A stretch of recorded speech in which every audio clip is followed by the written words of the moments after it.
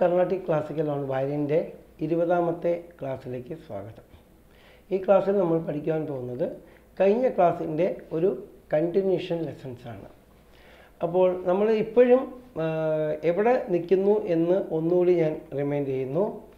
അതായത് നമ്മുടെ കർണാടിക് മ്യൂസിക്കിന്റെ ലെസൺസ് തുടങ്ങുന്നത് സർലി വരിശകൾ എന്ന ഒരു സെറ്റ് ഓഫ് സ്വരങ്ങളോട് കൂടിയാണ്. അപ്പോൾ ലെസൺ ഒരേ ലെസൺസോട് കൂടിയാണ്. അപ്പോൾ ആ ലെസൺ നമ്മൾ ഇപ്പോഴും എത്തിയിട്ടില്ല.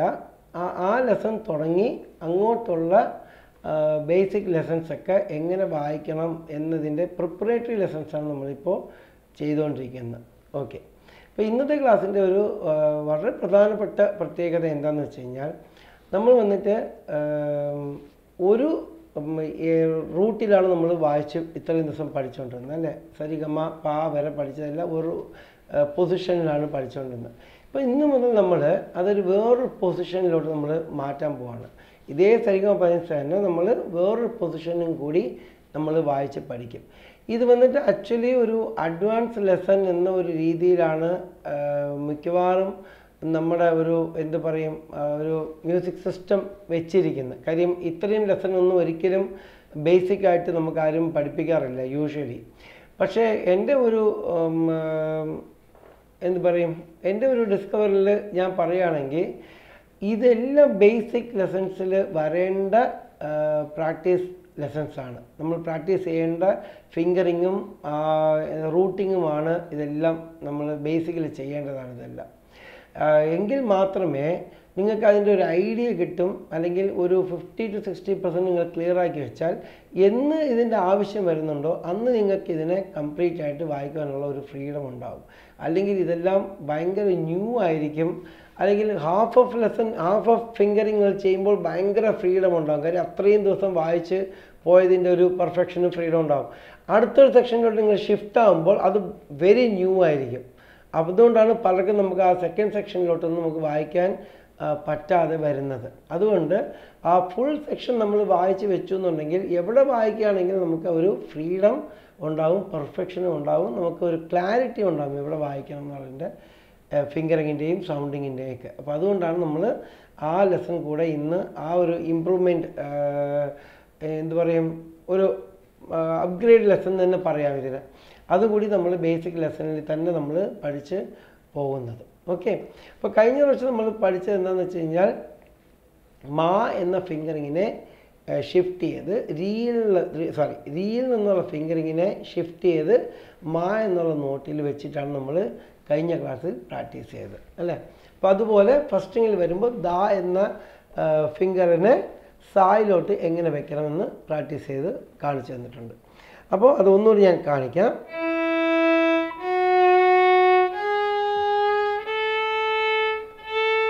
എന്ന് വെച്ചു. അപ്പോൾ ഇനി നിങ്ങൾ പ്രാക്ടീസ് ചെയ്ത് കഴിഞ്ഞാൽ ഇനി ഈ ഒരു മാ വെച്ച് അതായത് തേർഡ് ഫിംഗറിൽ മാ വെച്ചിട്ട് ഫസ്റ്റ് ഫിംഗർ വായിക്കണം എന്നില്ല നന്നായിട്ട് പ്രാക്ടീസ് ചെയ്തിട്ടുണ്ടെങ്കിൽ ഡയറക്റ്റായിട്ട്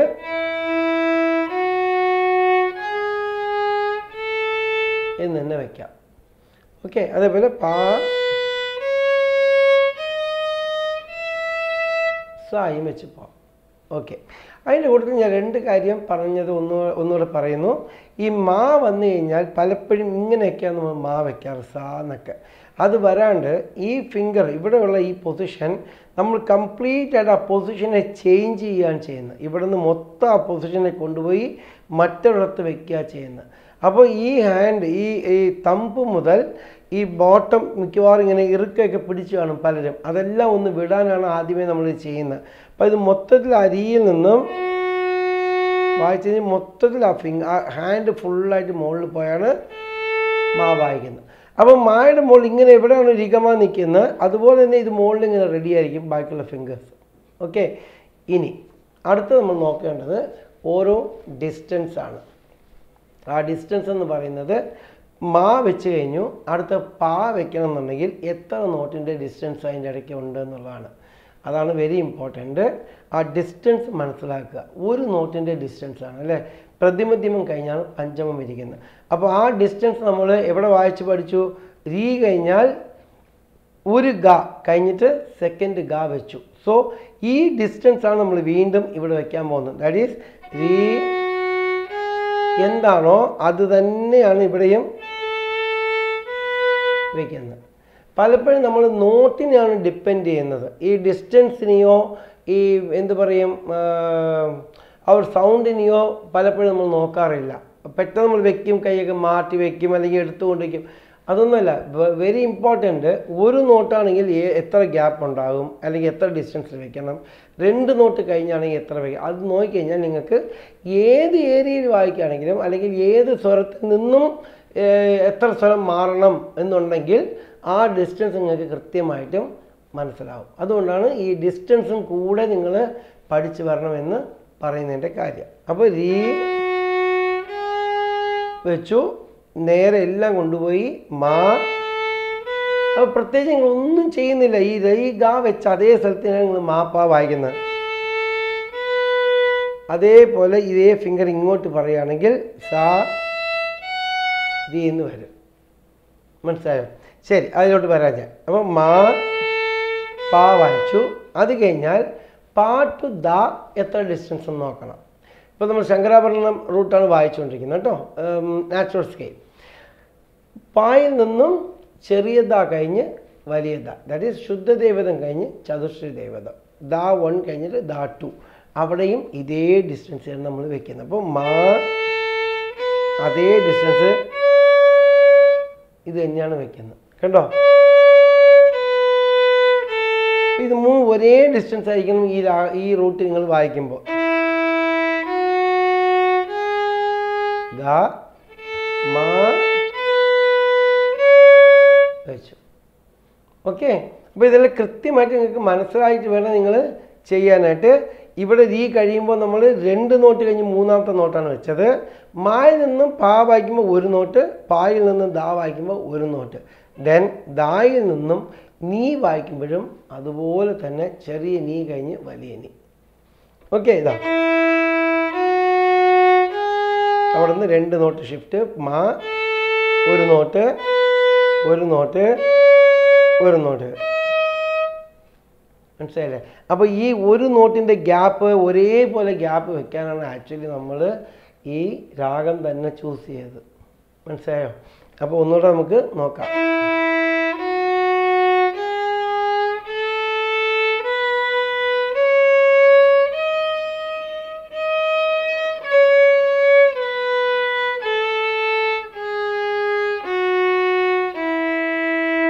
ഈ നീ വെക്കുമ്പോൾ ഒരു കാര്യം കൂടി ഞാൻ പറയാം. ഇങ്ങനെ നമ്മൾ എത്തിപ്പിടിക്കാൻ ശ്രമിക്കും. കാര്യം ഇതിനിങ്ങനെ ഇറുക്ക പിടിച്ച് കാണും ഈ ഫിംഗറിങ്ങിനെ ആദ്യം അത് ലൂസാക്കുക തമ്പ് ലൂസാക്കുക രണ്ട് ഈ റിസ്റ്റ് ഭാഗമില്ലേ ഈ റിസ്റ്റ് ഭാഗം ഒന്നിങ്ങനെ താഴ്ത്തി കൊടുക്കുക ഈ റിസ്റ്റ് മാത്രം. അപ്പോൾ ഈ ഫിംഗർ താനേ കണ്ടോ? താനേ ഇങ്ങനെ ആ ഒരു മൂമെന്റ് മുകളിൽ പൊക്കോളും അത്. ഓക്കെ ഇവിടെ വെച്ച് ഇങ്ങനെ വലിക്കേണ്ട നിങ്ങൾ കഷ്ടപ്പെടേണ്ട. ജസ്റ്റ് ഒന്ന് ഇങ്ങനെ താഴ്ത്തി ആ ഫിംഗർ മുകളിൽ പോകും. വീണ്ടും ദാ വരുമ്പോൾ സെറ്റ് ആയിക്കൊള്ളണം റൈറ്റ്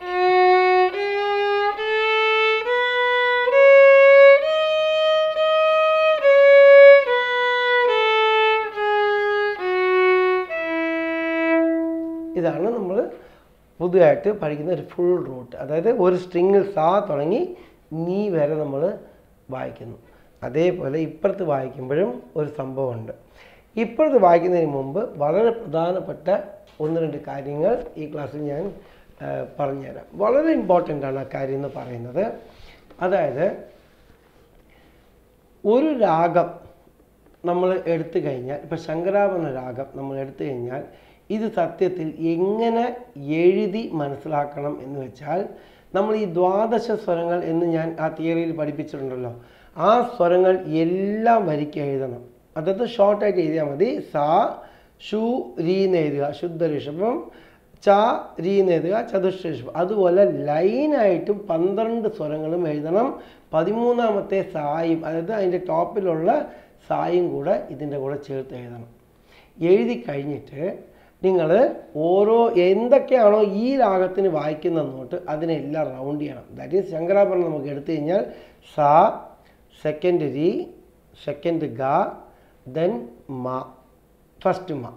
ദെൻ പ സെക്കൻഡ് ധ സെക്കൻഡ് നീ ദെൻ സ. ഇങ്ങനെ നോക്കുമ്പോൾ ഇത് നിങ്ങൾ ഒറ്റ ലൈനിൽ എഴുതാൻ ശ്രമിക്കുക മാക്സിമം അങ്ങനെ ഒരു പേപ്പർ ഉണ്ടെങ്കിൽ എ ഫോർ ഉണ്ടെങ്കിൽ ഒറ്റ ലൈനിൽ എഴുതുക.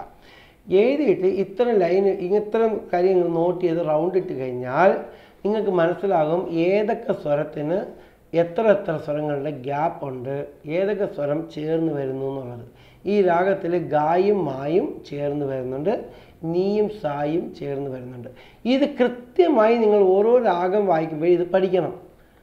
കാര്യം എങ്കിലേ നിങ്ങൾക്ക് ഏത് മുകളിലായാലും വേറെ റൂട്ടിൽ വായിക്കുകയാണെങ്കിലും ഈ ഡിസ്റ്റൻസ് നിങ്ങൾക്ക് കൃത്യമായി കഴിഞ്ഞാൽ നിങ്ങൾ എവിടെ വേണമെങ്കിൽ വായിക്കാൻ പറ്റും. ഏത് നോട്ടിൽ തുടങ്ങി നിങ്ങൾക്ക് ശങ്കരാഭരണം നിങ്ങൾക്ക് വായിക്കുവാൻ പറ്റും. അതൊരു എന്ത് പറയും ഏത് സ്കെയിലിൽ വേണമെങ്കിൽ വായിക്കാൻ പറ്റും. ഇതിനൊക്കെ ഭയങ്കര പ്രയോജനമാണ് ഈ ഡിസ്റ്റൻസ് നോക്കി നിങ്ങൾ പഠിക്കുക എന്ന് പറയുന്നത്. അപ്പോൾ ശങ്കരാഭരണം വായിക്കുമ്പോൾ പ്രത്യേകിച്ച് ഓർക്കുക ഗായും മായും ചേർന്ന് വരും.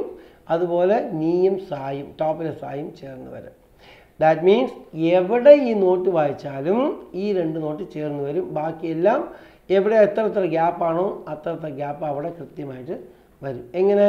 സാ ടു രി ഒരു ഗ്യാപ്പ് രി ടു ഗ ഒരു ഗ്യാപ്പ് മാ ടു പാ ഒരു ഗ്യാപ്പ് യൂഷ്വൽ രണ്ട് സ്ട്രിങ്ങിൽ വായിച്ച് പഠിച്ചവർക്ക് ഇതൊരു ഗ്യാപ്പ് തോന്നത്തില്ല കാര്യം ഫസ്റ്റ് മാ വായിച്ചോടെ നേരെ പാ ഓപ്പൺ സ്ട്രിങ്ങിൽ പോകും. അപ്പോൾ അതിന്റെ മുകളിൽ പ്രതിമധ്യം കാര്യം നമുക്ക് അറിയത്തേയില്ല. അത് ഇങ്ങനെ ഫിംഗർ വെക്കുമ്പോഴേ നിങ്ങൾക്ക് ആ ഗ്യാപ്പ് ഉണ്ട്. അവിടെയാണ് പ്രതിബന്ധം എന്നുള്ള കാര്യം കൂടി അറിയാൻ പറ്റും. സോ ഈ റൂട്ടിൽ ഈ റൂട്ടിൽ വരുന്ന എല്ലാ സ്വരങ്ങളും നമുക്ക് കണ്ണിൽ കാണണം ഈ റൂട്ട് നമ്മൾ ഫിംഗർ വെച്ച് വായിച്ച് പോകുമ്പോൾ. എവിടെ ഏത് സ്വരം ഇരിക്കുന്നു എന്നുള്ള ആ സ്വരം എന്തു പറയും? മനസ്സിൽ ആ ശബ്ദം വെച്ച് ആ സ്വരം കൃത്യമായിട്ട് നമുക്ക് കണ്ണിൽ കാണണം. എങ്കിലേ നമുക്ക് അതിന്റെ ബാക്കിയുള്ള റൂട്ട് ബാക്കിയുള്ള സ്വരങ്ങളും ഡെവലപ്പ് ചെയ്ത് വായിക്കാൻ പറ്റും. ഓക്കെ ഇനി ഞാൻ അടുത്ത സ്ട്രിങ്ങിലോട്ട് പോകാം. പാ സ്ട്രിങ്ങിലാണ് വായിക്കുന്നത്. പാ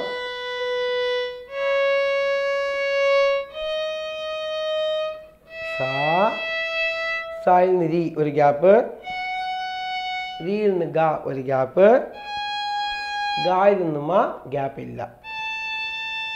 മാ ഗ രി സ നീ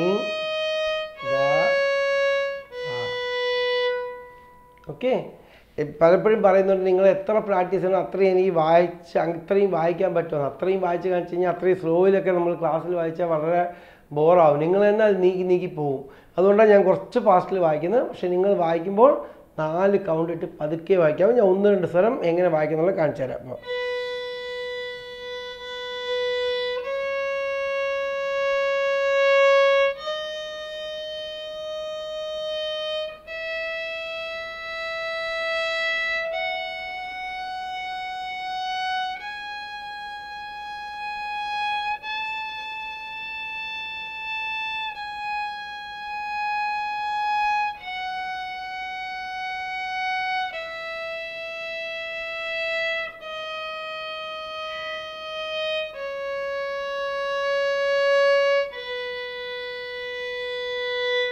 സ്ലോയിലെ ഞാൻ വായിക്കുന്ന ഏത് ലെസണും നിങ്ങൾ വായിക്കാവും. ഓക്കെ അപ്പോൾ ഇതാണ് പ. ഞാൻ എന്തിനാണ് ഇതിന് മുമ്പ് ഇത്രയും പറഞ്ഞു വെച്ച് കഴിഞ്ഞാൽ ഇവിടെ വരുമ്പോൾ ആ നോട്ടിന്റെ രീതിക്കാണ് നമ്മൾ വായിച്ച് പോകേണ്ടത്. താ കഴിഞ്ഞാൽ രീ ഗ്യാപ്പ് ഗാ ഒരു ഗ്യാപ്പ് മാ വരുമ്പോൾ ചേർന്ന്. അപ്പോൾ ഗായും മായും ചേർന്ന് വരണം എന്ന ഒരു അവയർനെസ് ഉണ്ടെങ്കിൽ മാത്രമേ നമ്മൾ ഏത് ഫിംഗർ വെച്ചാലും ഗായും മായും ചേർന്ന് വയ്ക്കും. ഇപ്പോൾ ഈ ഗായ്ക്ക് പകരം ഇവിടെയാണ് ഇപ്പോൾ ഗാ വെക്കുന്നത്. വെക്കുന്നത് അവിടെയും അപ്പോൾ ഏത് ഫിംഗർ വെക്കുന്നു എന്നില്ല നമ്മൾ അതല്ല ശ്രദ്ധിക്കേണ്ടത്. ഫിംഗർ എന്തുമാവട്ടെ ആ നോട്ടുകൾ തമ്മിൽ ഏതൊക്കെ ചേർന്ന് വരും ഏതൊക്കെ എത്ര ഗ്യാപ്പ് വരും എന്നുള്ളതാണ് നമ്മൾ ശരിക്കും നോക്കേണ്ടത്. അപ്പോൾ ഇങ്ങനെ ഒരു റൂട്ട് നിങ്ങൾ ഡെവലപ്പ് ചെയ്ത് തീർച്ചയായിട്ടും എടുക്കണം സീരിയസ് ആയിട്ട് പ്രാക്ടീസ് ചെയ്യണം ഈസി ആയിട്ട് വായിക്കാൻ നോക്കണം. കാരണം ഇത് കഴിഞ്ഞ് നിങ്ങൾക്ക് ഇത് ഇതിനെ മൊത്തത്തിൽ നമ്മൾ ഇനി ടോട്ടൽ എല്ലാ സ്ട്രിങ്ങുമായിട്ടാണ് നമ്മളിത് ഡെവലപ്പ് ചെയ്ത് കൊണ്ടുപോകുന്നത്. അതായത് സാ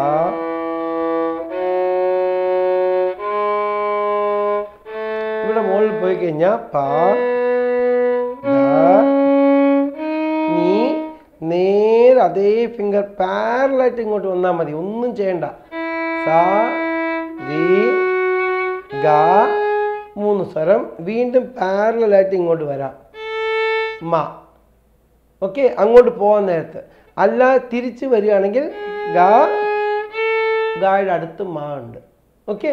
ശരി. ഇവിടെ നിന്ന് മാ പാ ദ നീ വീണ്ടും ഇങ്ങോട്ട് രി ഗ മാ. മനസ്സിലായില്ലേ? അപ്പോൾ എത്ര ലോങ് ആയിട്ടാണ് നിങ്ങൾ ഇത് കൊണ്ടുപോകുന്നുണ്ടോ മുകളിലോട്ട് എന്ന് പറയുന്നത്? ഇത്രയും ലോങ് ആയിട്ടുള്ള ഒരു ഒരു റൂട്ടിങ് നമ്മൾ ഒരിക്കലും ഈ ബേസിക് ലെസണിൽ വായിച്ച് കാണത്തില്ല. അപ്പോൾ വെരി വെരി ഇമ്പോർട്ടന്റ് ആണ് ഇത്തരം ഒരു പ്രാക്ടീസ് ചെയ്ത് കൊണ്ടുപോകണം. നിങ്ങൾക്ക് അത്രയും ശ്രുതി ചേരുന്നില്ല നീ വന്നില്ല അതൊന്നും നിങ്ങൾ worry ഇവിടെയൊക്കെ ഉണ്ട് ഇവിടെയൊക്കെ വായിക്കണം വായിക്കാൻ പറ്റും എന്നുള്ള ഒരു ആ ഒരു എന്തു പറയും? ഒരു ചിന്തനെങ്കിലും വരട്ടെ. നമുക്ക് ഈ ഈ ഏരിയയിലൊക്കെ നമുക്ക് എന്നോ വായിച്ചാണ് നമ്മളൊക്കെ പഠിച്ചു കൊണ്ടുപോകുന്നത്. അതൊന്നും അല്ലാതെ ആദ്യമേ നമ്മൾ മുകളിലൊക്കെ വായിക്കും. ഇവിടെയും വായിക്കാന്നുള്ള ഇവിടെയൊക്കെ നോട്ട്സ് ഉണ്ട് ഇതൊക്കെയാണ് എന്നുള്ളത് അറിയുവാൻ വേണ്ടിയാണ് നമ്മൾ ആദ്യമേ പഠിച്ചു പോകുന്നത്. ഒന്നുകൂടെ വായിക്കാം. മാ. ചേഞ്ച്. ഗ. ഇവിടെ ഒരു മാ ഉണ്ട്. അടുത്ത് അല്ലെങ്കിൽ ഇങ്ങോട്ട് ഷിഫ്റ്റ് ചെയ്ത് മാ. ഇപ്പോൾ ഷിഫ്റ്റ് ചെയ്ത് വായിക്കാവൂ. കാര്യം ഇവിടെ ഈ ഗ കഴിഞ്ഞ് മാ തന്നെ വരണം. അങ്ങോട്ട് മൊത്തത്തിൽ പോകുന്നുണ്ട്. ഗാമ ഗേദിസ വായിക്കാൻ മാത്രമേ ഈ മാ നമ്മൾ ഉപയോഗിക്കാൻ പാടുള്ളൂ. ഓക്കെ.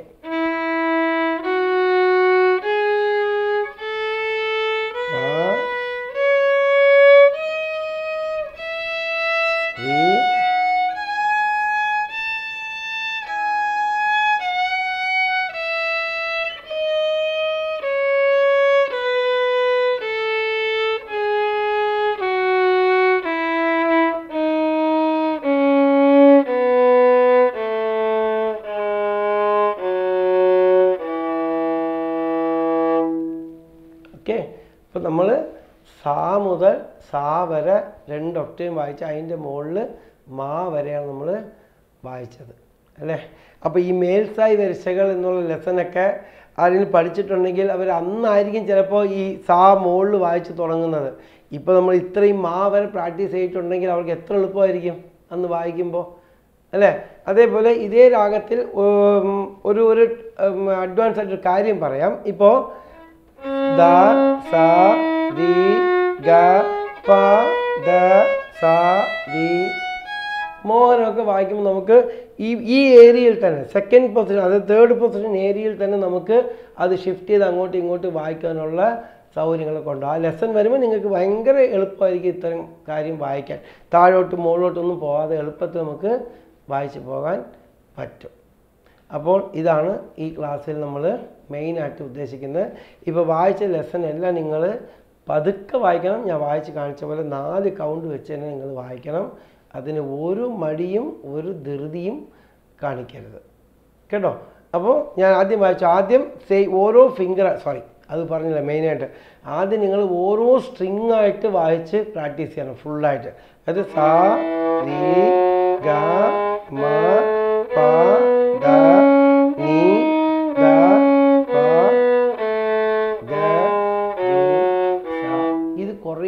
വായിക്കണം.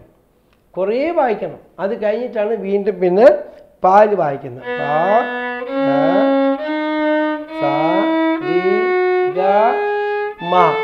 അവിടെ വരുമ്പോൾ ഗായുമായും ചേർന്ന് വരണം.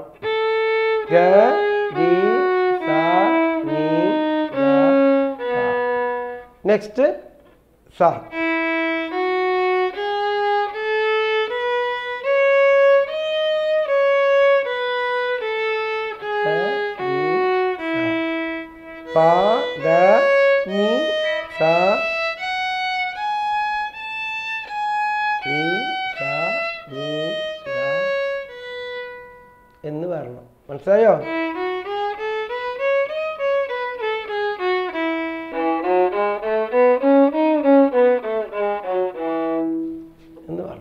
ഇതെല്ലാം ഭയങ്കര എളുപ്പമാണ്. അപ്പോൾ ഈ സിംഗിൾ സ്ട്രിങ്ങിൽ ഇതെല്ലാം പ്രാക്ടീസ് ചെയ്യുക. അത് കഴിഞ്ഞ് ഞാൻ ആദ്യം കാണിച്ചതുപോലെ സരിഗ മാ ഷിഫ്റ്റ് കഴിഞ്ഞാൽ മാ പാ ധനി ഫോർത്ത് സരിഗ. അത് അതേ പാരലായിട്ട് ഇങ്ങോട്ട് എടുത്തു വെച്ചാൽ മതി. ആ മായയുടെ ഈക്വലായിട്ട് വരുന്നത് സായാണ്. Sariga then shift to second string മാ പാ ധനി then shift to first string സരിഗമ ഇങ്ങനെയാണ് നമ്മൾ ആ ഒരു സെക്കൻഡ് റൂട്ടിംഗ് എന്ന് പറഞ്ഞ് ഡെവലപ്പ് ചെയ്യുന്ന അല്പം ബുദ്ധിമുട്ടായിരിക്കും എന്നറിയാം എനിക്ക് തീർച്ചയായിട്ടും. പക്ഷെ പതുക്കെ ഓരോ നോട്ടും ചെക്ക് ചെയ്ത് ആ നോട്ട് കറക്റ്റാണോ നോക്കി ആ ഫിംഗർ കൂടുതൽ സ്ട്രെയിൻ ഒന്നും ചെയ്യാണ്ട് പതുക്കെ ലൂ അതിനു വേണ്ടി നമ്മുടെ കൈയൊക്കെ എന്ത് ചെയ്യണോ അത് ചെയ്യാം. പക്ഷെ ആ ഫിംഗർ സ്ട്രൈ ഇങ്ങനെ ഓവർ സ്ട്രെസ് കൊടുക്കരുത് ഫിംഗറിങ്ങിന് അപ്പോൾ അതിങ്ങനെ ഞാൻ പറഞ്ഞില്ല റെസ്റ്റ് ഒന്ന് മടക്കി കൊടുത്താൽ മുകളിൽ എളുപ്പത്തിൽ പോകും. അതുകൊണ്ട് അത് നന്നായിട്ട് വായിക്കുക. ദെൻ നെക്സ്റ്റ് ക്ലാസ്സിൽ നമ്മൾ പഠിക്കാൻ പോകുന്നത് ഈ നോട്ടുകൾ തമ്മിലുള്ള ഒരു കോമ്പിനേഷൻസ് ആണ്. അപ്പോൾ അത് നെക്സ്റ്റ് ക്ലാസ്സിൽ ഞാൻ ഉടനെ പോസ്റ്റ് ചെയ്യാം. അത് മനസ്സിലാകുമ്പോഴേ ഈ നാല് സ്ട്രിങ്ങിലും എവിടെ എവിടെയാണ് ഏതൊക്കെ നോട്ട് ഇരിക്കുന്നത്? അല്ലെങ്കിൽ ഇപ്പോൾ ഫസ്റ്റ് സ്ട്രിങ്ങിലുള്ളത് സെക്കൻഡ് സ്ട്രിങ്ങിൽ എവിടെയാണെന്നുള്ള ഒരു നമുക്ക് ചാർട്ട് എഴുതി നമുക്കത് കാണിക്കാം. ഓക്കെ ശരി. നന്ദി നമസ്കാരം. ഇത് മനസ്സിലായി കാണുമെന്ന് വിചാരിക്കുന്നു. അങ്ങനെ നമ്മൾ ഇരുപത് ക്ലാസ്സിലോട്ട് കടന്നിരിക്കുകയാണ്.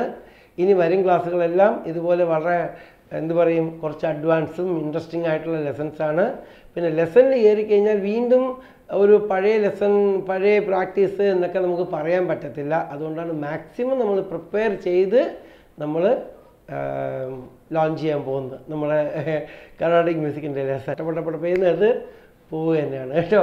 ശരി. Thank you very much once again subscribe ചെയ്യുക. ഷെയർ ചെയ്യുക. എല്ലാവരും ഇഷ്ടപ്പെട്ടാൽ ലൈക്ക് ചെയ്യുക. നന്ദി നമസ്കാരം.